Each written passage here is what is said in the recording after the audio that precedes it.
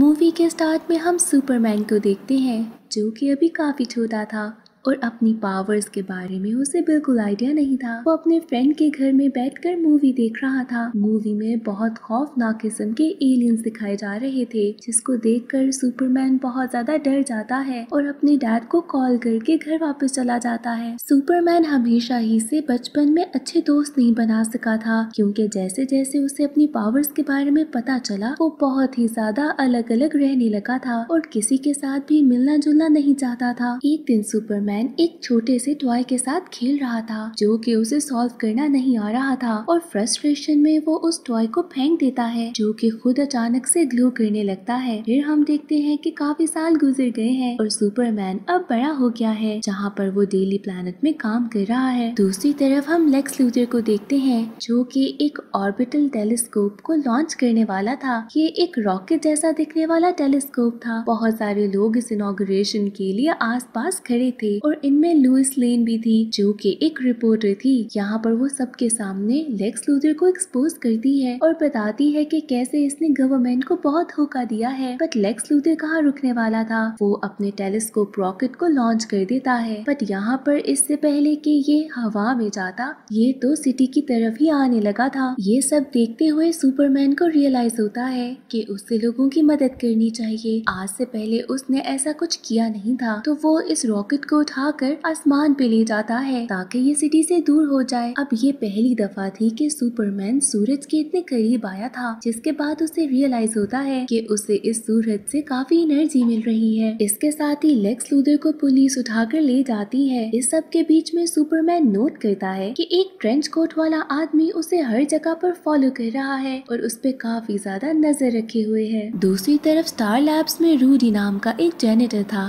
जो कि सुपरमैन को जानता था और उसने सुपरमैन को बताया था कि यहाँ लैब में कुछ अजीब अजीब से एक्सपेरिमेंट हो रहे हैं अब इसके साथ ही ये लैब बताती है कि इनको कोई यूएफओ डिटेक्ट हुआ है और शायद जल्द ही एलियंस पास आ जाएँ। अब सुपरमैन जब स्टार लैब्स इस सबको इन्वेस्टिगेट करने के लिए जाता है तो वहाँ पास ही इसे लोबो नाम का एक बाउंटी हंटर मिलता है, जो कि अब सुपरमैन से लड़ने लगा था वो सुपरमैन को बताता है कि तुम अपनी काइंड के आखिरी आदमी हो, जिसकी वजह से तुम्हारे सर पे बहुत अच्छी बाउंटी लगी है और मैं इसीलिए तुम्हें यहाँ पर मारने आया हूँ। लोबो को सुपरमैन के बारे में बहुत कुछ पता था। यहाँ तक ये भी कि क्रिप्टोनाइट में सुपरमैन की वीकनेस है, जिसके बाद उसके पास क्रिप्टोनाइट वाली एक रिंग थी और वो सुपरमैन को बहुत बुरे तरीके से मार रहा था। सुपरमैन भी काफ़ी वीक होता गया और वो इससे लड़ नहीं पा रहा था। अब यहाँ पर अचानक से एक एलियन जैसा फिगर आता है, जो कि लोबो को हटा देता है और उसे मारने लगता है। इतनी देर में लोबो जहाँ डिस्ट्रैक्ट हुआ था सुपरमैन दोबारा से हवा में जाता है और सूरज से सारी एनर्जी लेता है ताकि वो कुछ बेहतर हो जाए। जब वो वापस आता है तो देखता है कि लोबो की हालत ऑलरेडी उस एलियन ने बहुत खराब कर दी थी। जब सुपरमैन और लोबो लड़ रहे थे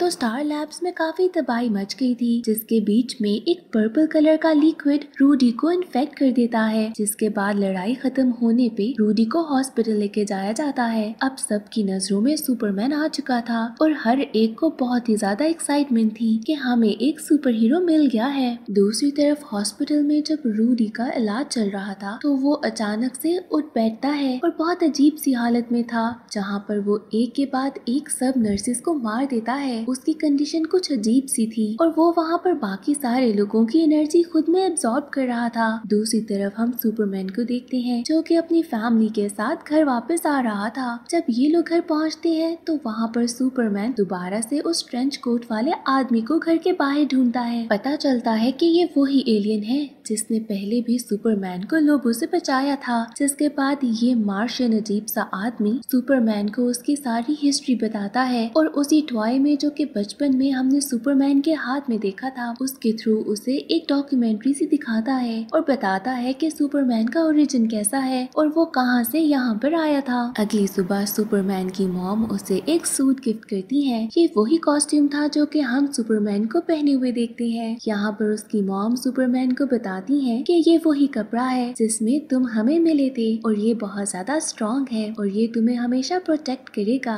दूसरी तरफ़ हम देखते हैं कि लुइस लेन लोबो का इंटरव्यू लेने के लिए गई है, जहाँ पर लोबो उसे बहुत ज़्यादा तंग कर रहा था। उसे एक अजीब सी शील्ड में रखा गया था। यहाँ पर अचानक से रूडी आ जाता है। रूडी को लोबो पे बहुत ज़्यादा गुस्सा था, क्योंकि उसी की वजह से उसकी ये हालत हुई थी। इससे पहले कि वो लोबो पे अटैक करता, यहाँ पर पुलिस पहुँच जाती है। पुलिस रूडी पर बहुत ज़्यादा फायर करती है बट इससे तो रूडी को कुछ भी नहीं होता। उल्टा वो पुलिस पर ही अटैक करता है और सारी उनसे एनर्जी एब्सॉर्ब कर लेता है, जिसके बाद उनकी कैपेबिलिटी और सारी मेमोरीज रूडी में आ जाती है। पुलिस के बाद अब वो बिल्कुल लोबो के क्यूब में जाता है, जहाँ पर वो क्यूब को तोड़ने लगता है और तोड़ने के लिए उस क्यूब की सारी एनर्जी खुद में एब्सॉर्ब करता है, जिसके साथ ही वो एक अजीब से पैरासाइट में चेंज हो जाता है और उसको अजीब सी वीकनेस भी फील होती है। अब इस सब के प्रोसेस में लोबो तो वहाँ से भाग जाता है। इतनी ही देर में वो एलियन और सुपरमैन यहाँ पर पहुँच जाते हैं। सुपरमैन रूडी को रोकने की कोशिश करता है और इन दोनों में लड़ाई होती है। बट रूडी यहाँ पर सुपरमैन की की बहुत ज़्यादा एनर्जी खुद में एब्सॉर्ब कर लेता है। दूसरी तरफ़ वो एलियन आता है सुपरमैन को बचाने के लिए, जिसके बाद वो रूडी के ऊपर अटैक करता है। बट रूडी उसके लिए भी बहुत ज़्यादा स्ट्रॉन्ग था और यहाँ पर हम देखते हैं कि वो एलियन फ़ौरन जल जाता है। अगली सुबह सुपरमैन जब सो कर उठता है तो उसे बहुत ज़्यादा वीकनेस फील होती है। उसकी पावर्स भी बहुत कम हो चुकी थी, क्योंकि उस पैरासाइट ने इसकी सारी पावर्स को एब्सॉर्ब कर लिया था। अब सुपरमैन तो उड़कर सन के पास भी नहीं जा सकता था, जिसके बाद उसे समझ नहीं आती कि अब किससे हेल्प ली जाए। अब यहाँ पर वो यूजलेस सा फील करता है और जेल में लेक्स लूथर के पास जाता है, क्योंकि उसके पास बहुत सारे रॉकेट्स और स्पेसशिप्स थी। सुपरमैन उससे रिक्वेस्ट करता है कि मुझे तुम किसी तरीके से सन के पास ले जाओ ताकि मैं वहाँ से अपनी स्ट्रेंथ गेन कर सकूँ। इस सब काम के लिए लेक्स लूथर मान भी जाता है। दूसरी तरफ़ सुपरमैन को लैब की कुछ फुटेज से पता चलता है कि ये पैरासाइट कोई और नहीं बल्कि रूडी है, क्योंकि वो पर्पल फॉर्म एक तरह का ऑर्गेनिक मटेरियल था, जो कि इसलिए बनाया गया था ताकि वो हर तरह की एनर्जी को एब्सॉर्ब कर ले। और अब ये ही मटेरियल रूडी के डीएनए से जाकर मिला है, जिसकी वजह से रूडी ऐसा अजीब सा हो गया है। लेक्स लूथर सुपरमैन को बताता है, क्योंकि रूडी ने तुम्हारी सारी एनर्जी को एब्सॉर्ब कर लिया तो तुम्हारी हर तरह की पावर उसके पास है। यानी कि तुम्हारी वीकनेस भी उसके पास ही होगी।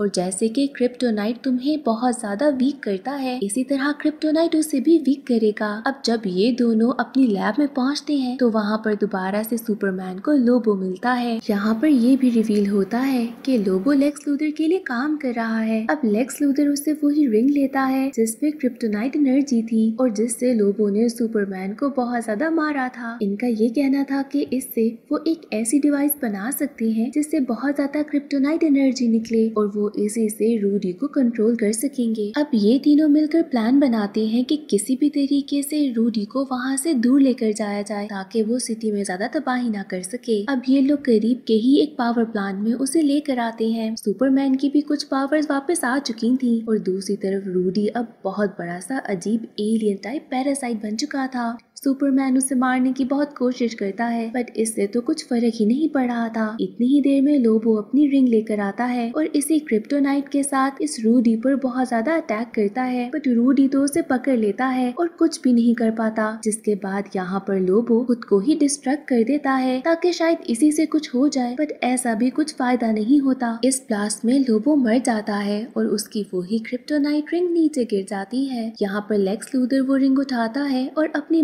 बनाई हुई एक गन में डाल देता है, जिसके अंदर से बहुत ज़्यादा क्रिप्टोनाइट पावरफुल सी निकल रही थी, जिसके बाद वो इसी गन को यूज़ करके रूडी के ऊपर अटैक करता है। अब इससे रूडी पर काफ़ी ज़्यादा असर पड़ रहा था, क्योंकि क्रिप्टोनाइट की स्ट्रेंथ बहुत ज़्यादा तेज कर दी थी इस गन ने। लेक्स लूदर वैसे भी एक बुरा इंसान ही था। जैसे ही रूडी थोड़ा सा डाउन होता है लेक्स लूदर इसी गन को यूज़ करके सुपरमैन पे अटैक करने लगता है। सुपरमैन की एनर्जी पहले ही काफ़ी डाउन थी। इस अटैक से तो वो बिल्कुल ही डाउन हो जाता है बट यहाँ पर अचानक से वही ग्रीन एलियन आता है, जो कि मार्शन था और जिसने पहले भी सुपरमैन की हेल्प की थी। ये मार्शन फॉरन लेक्स लूदर को रोकता है। दूसरी तरफ़ दोबारा से रूडी उठ खड़ा होता है। उसको बहुत ज़्यादा गुस्सा आ रहा था और वो फ़ौरन ही सिटी की तरफ़ जा रहा था। सुपरमैन अब रूडी के पीछे जाता है और उसे रोकने की कोशिश करता है। सुपरमैन उसे समझाता है कि मैं जानता हूँ तुम बहुत ही ज़्यादा हर्ट हो। अब तुम घर भी नहीं जा सकते, क्योंकि तुम्हारी फैमिली तुम्हें पहचानेगी नहीं बट मैं ये भी जानता हूँ कि तुम किसी को भी हर्ट नहीं करना चाहते। तुम एक अच्छे इंसान थे।